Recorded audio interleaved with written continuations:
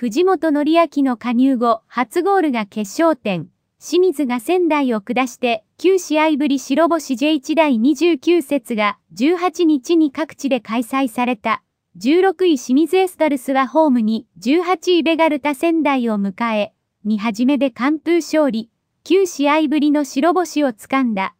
立ち上がりから攻勢に出る清水は前半19分に先制する。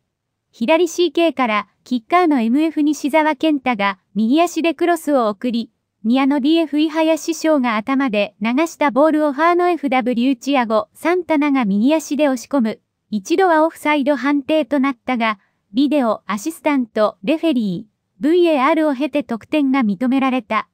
3戦連発の T、サンタナはチームトップの今季10ゴール目。そのまま清水が始め0とリードして前半終了となった。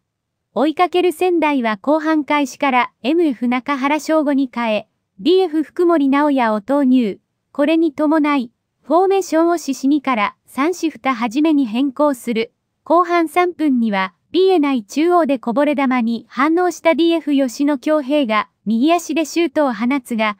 GK 権田修一の好セーブで同点とはならない。すると後半7分に清水が追加点を奪う。